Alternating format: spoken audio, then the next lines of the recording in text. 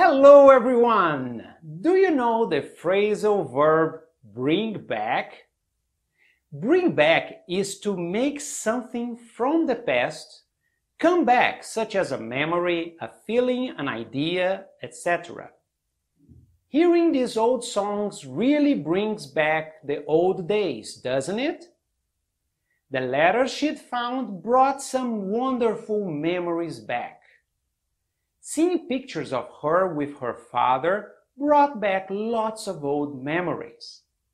Write now a sentence with bring back on the comment section below and improve your English.